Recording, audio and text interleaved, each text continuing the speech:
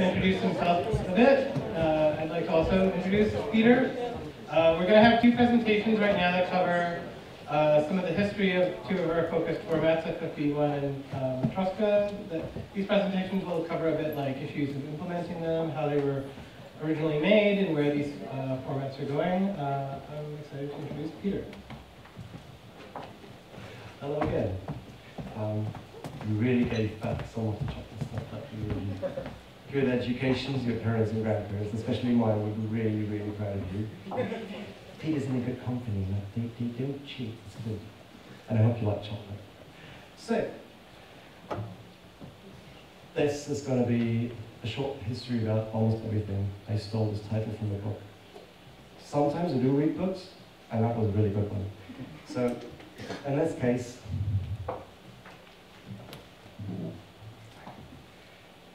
FFV1 timeline from the most objective perspective that I could get. It's, in 2003, someone wrote this codec. This will be really quickly because we will dive into details. So don't worry if I, I kind of lost on here. 2003, somebody called Michael Niedermayer created this codec basically just for fun. And in 2006, three years later, well, tests were done, nobody complained about anything, so bitstream was frozen. So the layout of the bits inside the file, was like, okay, now this is going to be compatible with future versions. So after 2006, files that were created after this date are guaranteed to be readable by future decoders. In 2009, something weird happened you have this ball that we live on with lots of blue and some green. And on the opposite sides of this planet, like in the United States and in Europe, probably it's not so opposite, but pretty far apart from each other, two people kind of stumbled over this of codec from uh, the need of looking for a preservation codec. We'll figure out who these two guys were later, but they were not talking to each other until now. In 2010, funding improvements happening, and in 2012, more stuff like multi-threading, slice CRC, and forbits for RGB. And in 2013, like a few years later now, after it was picked up as an interesting candidate, it was like, okay, officially release of a new bitstream that has all these awesome features in it in 2014, the PREFORMA project that you've heard from Erwin got involved, and now it kind of gave it more resources to do like the serious part about standardization. This is where we are now, 2016, standardization in progress. That was the boring part of this timeline, but it's the objective overview. So the codec is 13 years old. 2010, I actually got involved in December 2009, but nothing really happened at that time except for that this guy here, Hermann Lewetz from the Austrian Mediathek, the National Audiovisual Archive in Vienna, um, said, hmm, we want to do video in a serious way. We really want to digitize our collection. And he's gone around and asked people, like, what are you using as a format? He got different answers that we've seen before, and he asked around, especially with the candidate at that time being MXF and JV2000 lossless inside, people using it. There were only a few. I should also use the slides because they're like my cheat sheet. The inputs he got from asking people what they use for preserving image, moving image in a lossless way, actually made us to reconsider the whole thing and go for don't use codecs on containers. There's so much issues with it. Nobody has found anything that really works in a lossless way, very important. Most of the people are doing lossy still. So we went back to, what if we just do image formats? Like, like the film people do, like just one file per frame and then an audio file with it.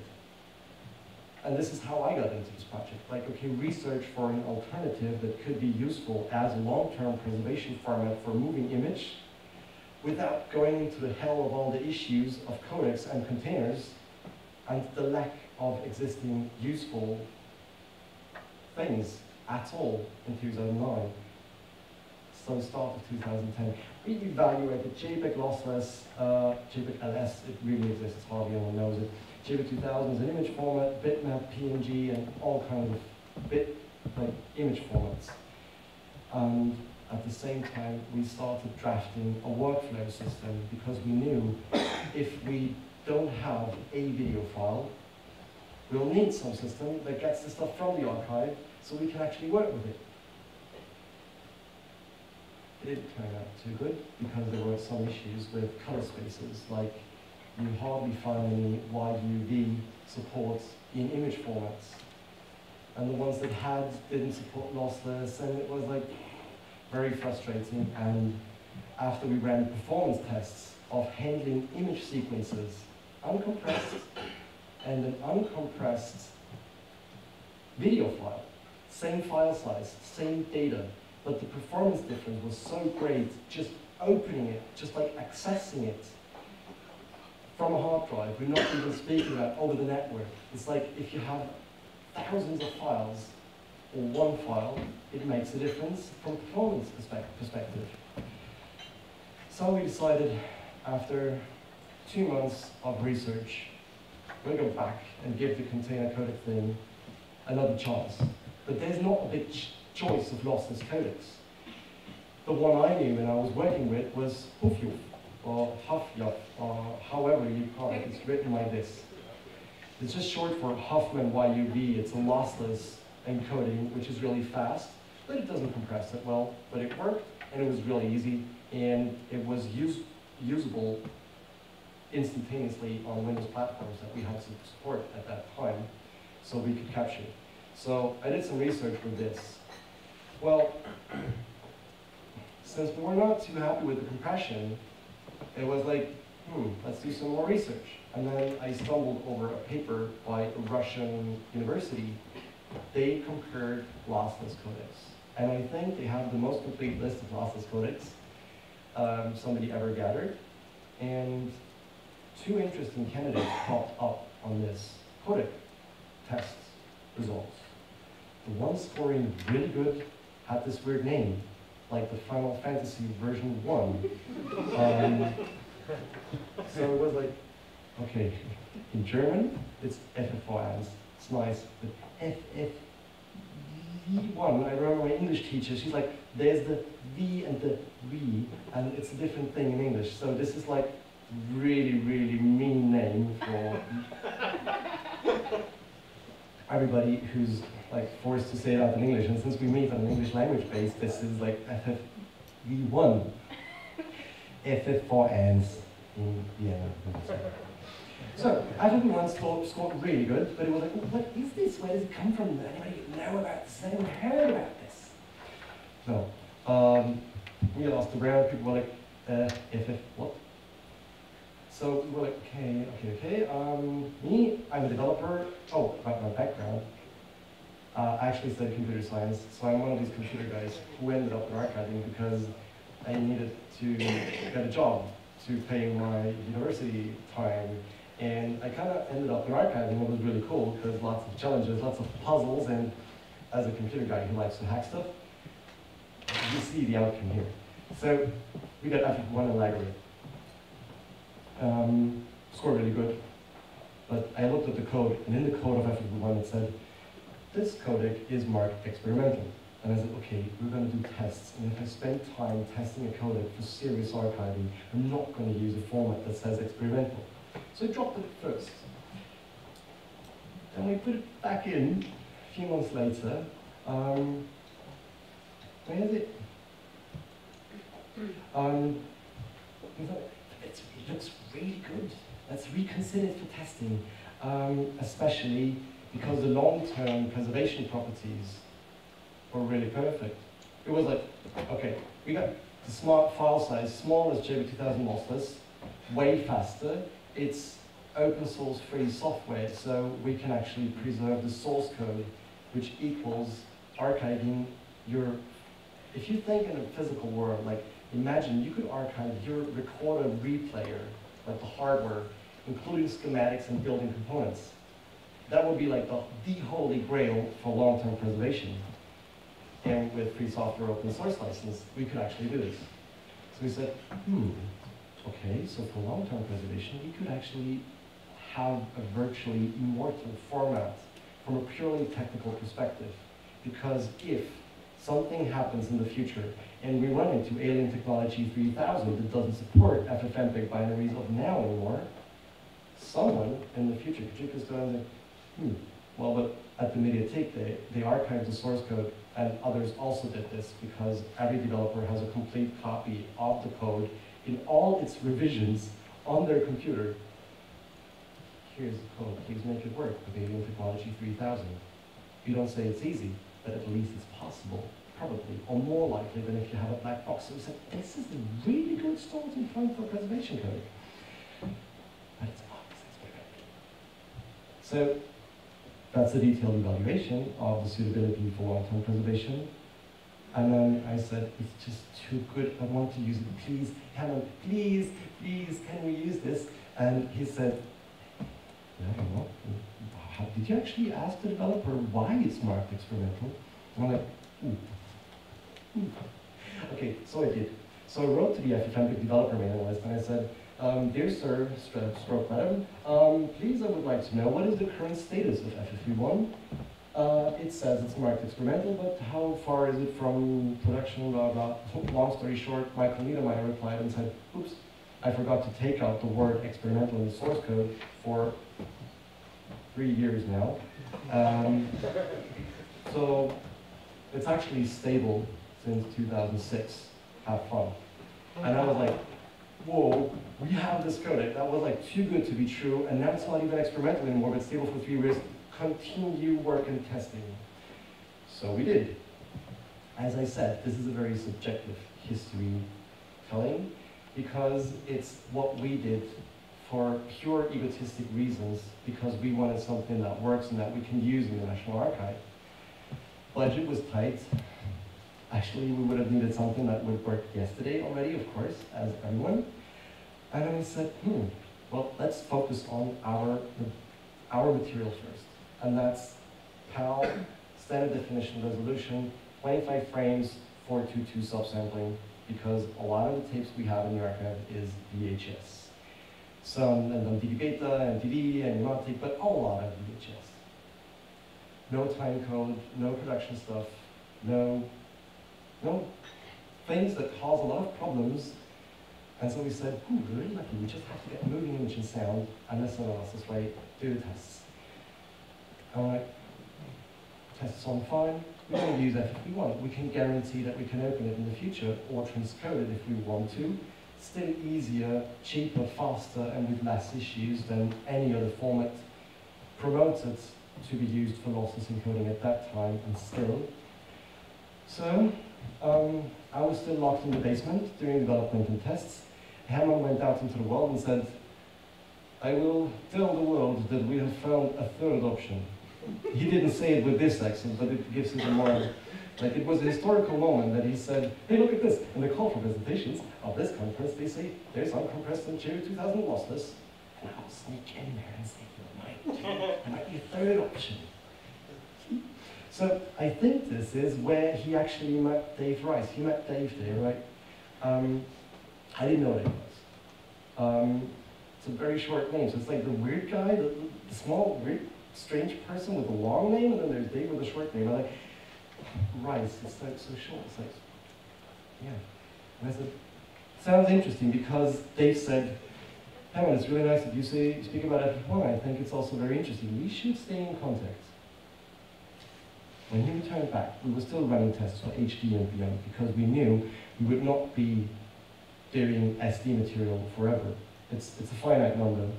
And I wanted to know how FFV1 could handle larger resolutions, if there were limits in the implementation, how the performance was, what about more bits per component. So still in 2010, we contacted Niedermayer, said, could we actually make it faster? He said, maybe. He said, please. Uh, in 2010, in the middle uh, of 2010, actually, um, I was curious and I was Googling uh, if FFV1 appeared anywhere else. If anybody else saw this, I wanted information. I wanted to, to know why is this too good to be true? Why did I not hear of it anywhere else? And in some paper in, uh, in the Dutch language, but I think it's actually Belgian, because Flandern, Devon, no. um, it was actually mentioned compared with JB2000 losses. Now, this is very interesting, but I don't understand it in detail because it's the wrong language. Um, but you can, you can look it up. There's the ISBN number. That was the first occurrence officially of FFV1 in the paper, as far as I know. So we continued testing and provided feedback to the developer and developers, and I published testing results, and so on and so on. We just did this for like a long time. Until in October something really, really thrilling happened. Who of you knows what a fork of a program, like project, coding project is? Yes, yes, yes, yes, yes. Who does not know what a fork is? There's, there's a nice saying between developers. It says, if you disagree with what we write here, then just fork off. um, it's, it's like the fork of a road. So you've got like happy developers uh, doing their stuff, and they're like, yes, we think we're doing, we're working on the same thing, and we agree, and, and everything, and we're just, oh no, no, no, no. Oh no, you, you did this? Yes, yes, yes. No, I, I don't, I don't agree with this. You, you should, but I don't. I'm like, fuck off. So it just like, you take the code and you spawn a separate project, basically starting with the same code, and then you go different directions depending on what your disagreement was about. Now in the Mediathek, we sat like watching the news, like um, you have all these black and white imagery from the news back in history when, when history class was like, and this is how the First World War started. It's like there were two gentlemen meeting, and one said, I don't like your shoes. And like, I'm going to bomb your country. And things start out in a really weird way. So we were watching this libav fork, and I was like, we don't like you guys. We don't like you guys. No, we don't like you guys. I, I, I don't know these people. I haven't met any one of them in person. Some of them yet, but not too many. So we're like, we have this small gem. Is it called gem or gem? Like a diamond thing? Gem. Gem. Gem. It's Jim. We have it in there, and and, and now, now we kind of like we invested money and time, like making it like multi-threading faster than. And, and, and, oh no, they're working. What shall we do now? Is this like this is it? This is the end because they disagree with each other and they don't like each other, and it's a very personal thing because the codec is a personal baby of Michael Niedermayer, and the libav guys said, we don't like Michael anymore. So was like, oh no, but then we said, hmm, it's released on an open source license, so we can just go and patch the other side, or have someone else patch it in the other side. We're not locked in. We're not like, oh no, the vendor's splitting up, the company's dissolving, we cannot do anything. Please, dear market gods, fulfill our archival needs. We will also like kill chicken, or I don't know what's necessary.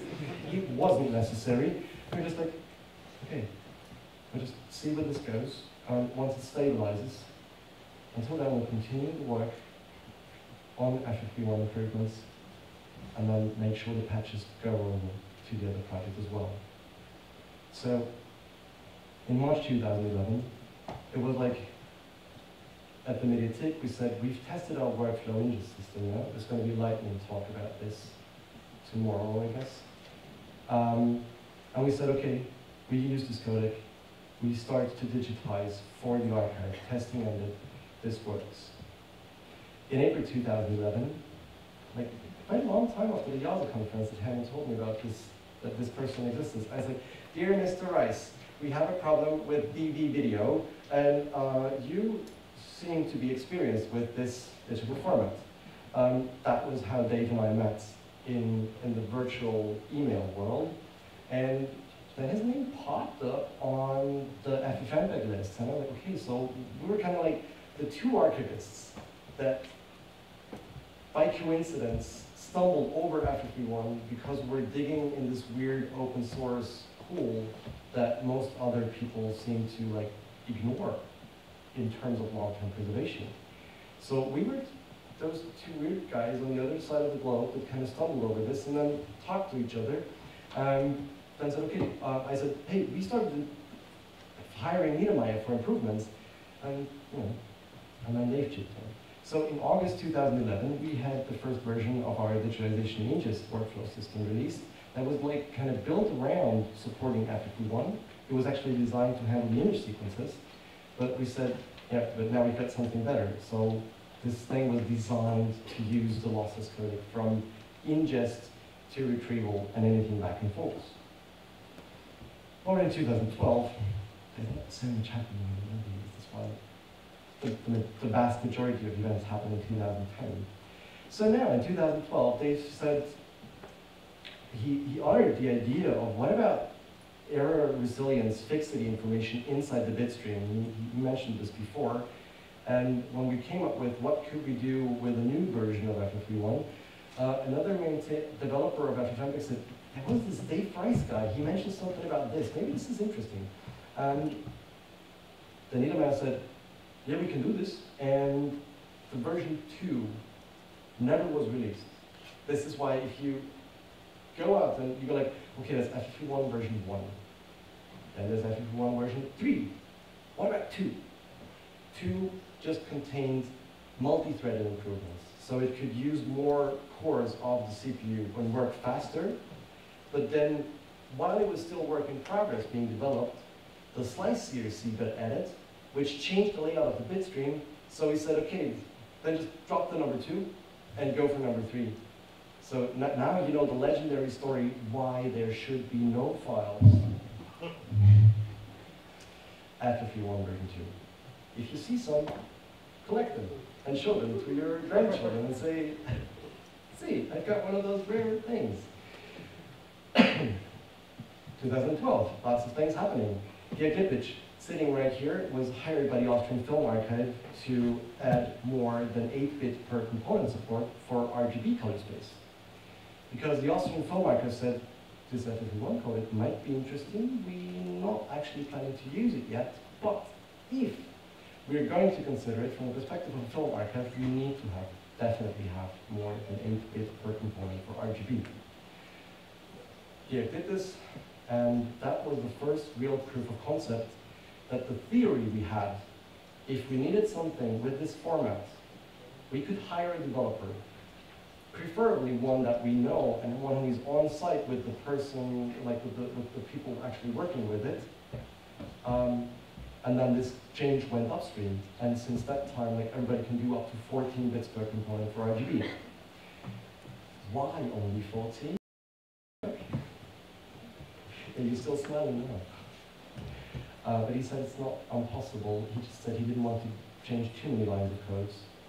And 14 bits was a very easy reachable goal. And we're like, really cool. So we had people actually do this in real life. Our theory is proven. In unspecific months in 2012, um, we had like more talks with other archives, more memory institutions, a lot of people calling us really, really crazy uh, and really unprofessional, and other things that my grandparents would not want me to say out in public, because they taught me that if you have nothing good to say about a person, don't say anything at all. That's why there are a lot of people not mentioned in here. um, but I met them in Singapore. Uh, additional co-funding of FFV1 improvements. I think this was a this was an information I wanted to have in there. It was not just the Mediathek who said we'll raise some money and pay for improvements of FFV1, but there was also the Austrian Film Archive who chipped in something, and like they, they put in money. And then there's a company NOA I used to work for before, and we also have a developer from them giving a talk afterwards, and they said hmm, actually there is no real lossless codec useful in real life. So this FFV1 thing might be interesting. What is your situation? What is the status? And I said, well, we're working on it. And they chipped in with some money to actually speed up the official release of Bitstream version 3.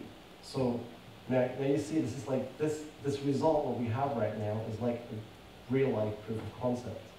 What you can do from the user's point of view, from the point of view of a memory institution. it was not a lot of budget we had to raise. I will not say any numbers because it's actually uncomfortably affordable. Uh, and then we had something that not only allowed us at the media take to do this, but also everyone else having the same situation. And everybody who, who put in another piece of the puzzle to this cool construction, like when QC tools came up and the MediaConch and so on, and everybody could use everything. And I was like, wow, this is public money used right. And also proprietary companies said, hmm, we still profit from this, so let's also do this. So now, my test results were quite satisfactory, but the testing was not yet finished. It's 2012, so this ran as a sidetrack. I was doing most of it on the computer in my spare time, because there's always more work than you do uh, in your work time, but I thought this thing is too good to be true to just not make it because of lack of resources. There were a lot of institutions who were like, oh, this sounds interesting. Tell me when it's done. And I'm like, thanks for not helping. Um, they were, most of them basically now are the ones that complain like, oh, but it's not as fast as we were hoping it to be. like, that is really, really constructive. Yes, thank you. More of this, more of this. Yes. Um, drank a lot of coffee, smoked a lot of cigarettes, put a lot of work into this, that you have this now, and you can just use it. And please, thank you, sir, for just complaining at me. Can you please point this into the direction of developers, including something we call money or whatever to actually make it worthwhile for them because we all profit a lot. And here a lot of other institutions would say, oh, we don't have any money. Like, seriously? We, we have like um, a coin pay per coffee machine now, because we can't afford the coffee. And then that this is the answer you get when you ask them for like, if we could raise resources to make this format, uh, to, to pay developers for an open solution that we offer, sorry, you want a coffee? It's not doable, it's like public money, we're getting cut down. Yes, we do not have as much budget in public institutions, but when I see how much they pay for closed black box. Please pay again for every problem that we've caused you uh, solutions. Then I want to raise this idea of this thing, like this open source stuff. It's not unprofessional and for free. It's like it enables people to like, oh, okay, we can actually make it work if we find this. We pull in the resources. We get amazing solutions for less of the money. Um, why not? And everybody's happy. So talking about everybody being happy, we've got this fork thing in the past, and now we had FFP 1.3 uh, in a state where we said, yeah, yeah, we, we could actually, that, that, that is it. It's not officially released yet, but yeah, that is it. And I, and I talked to LibAV developers and said it would be really nice if they could kind of merge the changes. We've had been developing in FFmpeg right now, and Luca Barbato was so nice, he's an FFmpeg uh, LibAV developer, oh my god, he's gonna hang uh, who was so nice to like go, okay, I'll take a look at this. He looked at the code, he cleaned it up, he merged it into LibAV, and from that point on, I knew whatever application is going to use FFmpeg or LibAV libraries, they're all gonna support FFV1 in version 1 and 3. And that was a major breakthrough because then you could just lean back and say, ah, now we've got the situation we've had before the fork again because we knew that VLC, a very important component, uses FFmpeg libraries, and after the fork it wasn't sure whether to use this or that code, and now this was not a problem at all. And since then, FFV1 is maintained in both libav and FFmpeg, and the, the patches mostly go back and forth. So we've reached 2003, we're almost to the present. August 2013, I brought a bottle of alcohol-free champagne to the office because this was like, now we have the official release of version 3. Now everybody's allowed to use it, guaranteed that it will be readable by future versions of the decoder. 2014, so you see, 2013, what happened? Um, 14, I met uh, Bert and Emmanuel, from PACKED at the FOSDEM. By complete coincidence, it was like, oh, they were doing this, and, blah, and they were telling me about the PREFORMA project, which you heard before. And then they said, yeah, we're looking at FFV1. And then we, we chatted, like, what was our experience? We were already working with it productively since 2011. So at the Mediathek, there was quite some experience based on like real life use cases.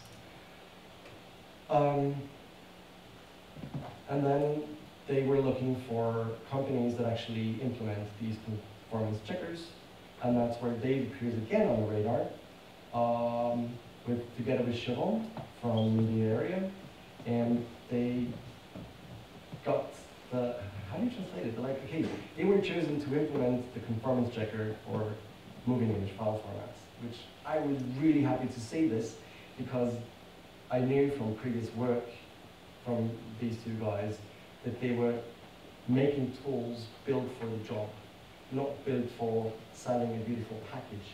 They also have a beautiful package, but it's like really designed in a technically good way. So reaching 2015, we're now right in the middle of what's kind of happening here. It's Tessa Fleming. I haven't seen today. Here yet. Um, she was on the PREFORMA team put together by Dave, and that was when FFV1 and Matroska discussion was opened on the IETF discussion thread. Also in that month was the first release of Media Conch, as far as I researched. Sharon may correct me. What? This is right. This is right, yeah, thank you. Um, and that's something I had to put in there because it was really, that was, I, I read it and I was like, There's the FIAT/IFTA International Conference for Radio and Television Archives. This is like broadcast. Broadcast is different than archiving. And it's a very serious conference.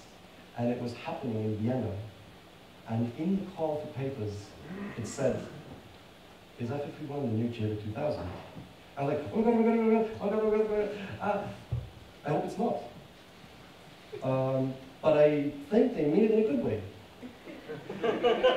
and then I was like, uh, Dave, Dave, I think they're actually asking for somebody presenting there.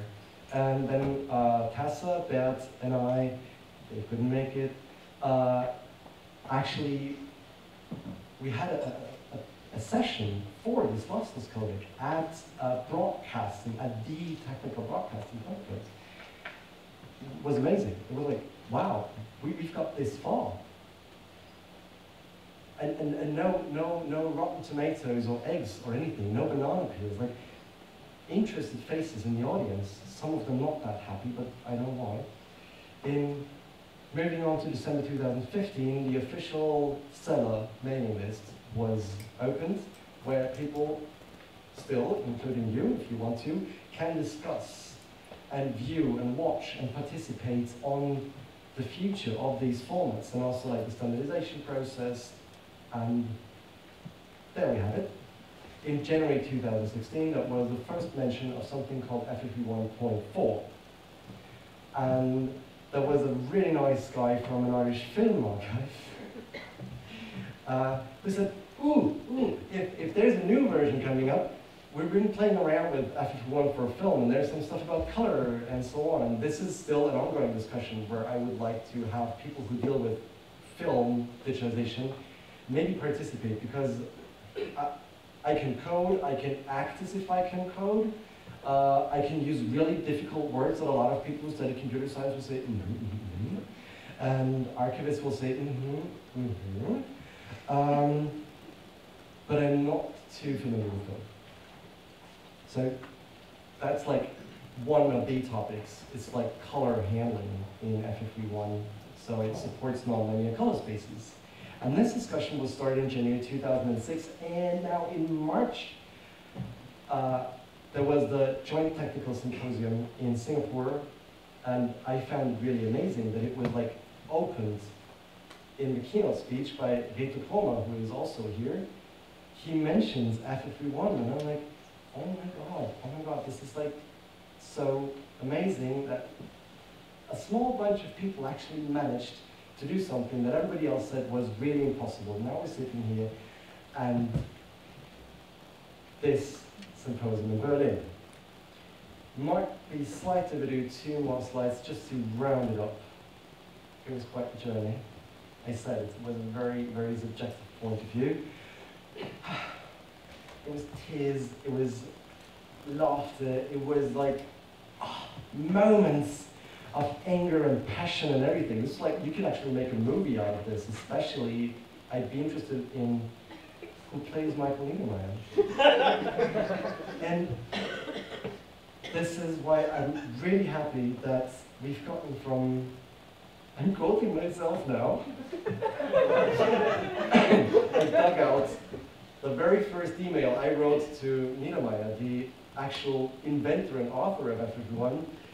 And uh, maybe I was too passionate, but I put this in there to kind of give him a motivation what we're actually trying to do here. And I said, I love to see a free codec being promoted as the format for long-term video archives. Because currently it's chaos in the archive world because there is no standard or best practice at the moment. Well, some people would say, of course there's a standard. Uh, didn't you read the IASA paper about standards that are actually in use? But what I meant is there was really no best practice that was actually working for most of us. That was Peter B. in April 22nd, 2010. And a few days before I got here, I received this from the Musée de Art Contemporain. Uh, my French is really bad It's the Museum of Contemporary Art in Montreal, in Canada. And Etienne Desautels said, well, all I can say now, it just works. We really have no problems at all. We have digitized mostly from the Nazi command compressed YUV and so on, and then converted to FFV1 and MKV. And it was like really nice to hear this like a few days before I got here, so I put it on as the last slide. So here we are, no time to wait. There's a slide asking for questions, but I put this on while I give you the chance to say questions. Thank you very much.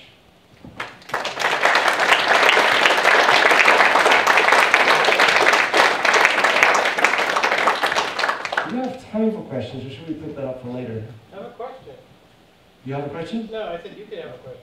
I could have a question. question? No, you did. Um, I'm wondering if you could talk a little bit about, um, it seemed like, you know, there's a lot of sort of drama and issues around the codec historically, and how that, if that at all affected the actual stable FFV1 itself, or if there was any kind of fear of that. I would just like to reinforce what I hope is that that, that never discouraged or prevented the codec from working, or if there's any issues with backwards compatibility because of the split. Mm, yes and no, but more no. You know, Um, there is something called the FATE tests, the FFmpeg automated test environment, where you can make a set of tests that every time a change is made to the source code of either FFmpeg or libav, it's run, uh, all these automated tests are run, and they're there to point out regressions and stuff like this. There's still work to be done. It's on my to-do list for three years now. Um, but so far, it's there was no objection from the libav developers say, no, we're not going to do FFmpeg 1.3. And they were really constructive.